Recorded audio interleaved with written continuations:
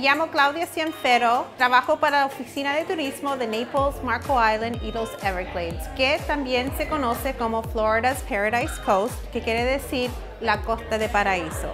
¿Por qué? Porque realmente es como estar en el Caribe, realmente es un paraíso.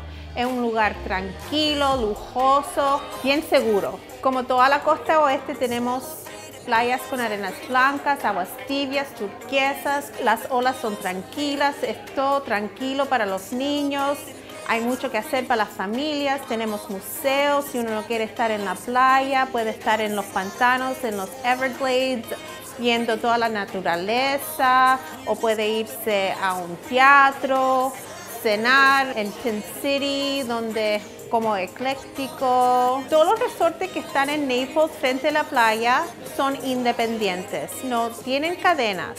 Solamente hay un Ritz Carlton en la playa y que también hay otro que tiene campo de golf. En Marco Island solamente hay tres resortes frente a la playa.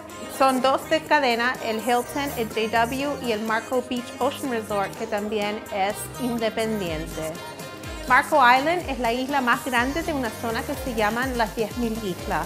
Uno puede salir de Marco Island en lancha y explorar toda esta zona. Uno puede ir a recoger las caracoles marines, ver aves.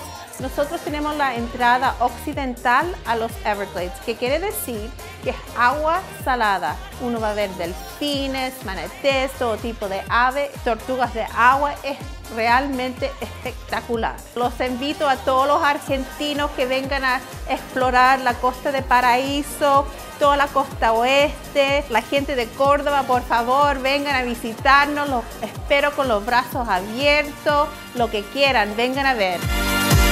one more time.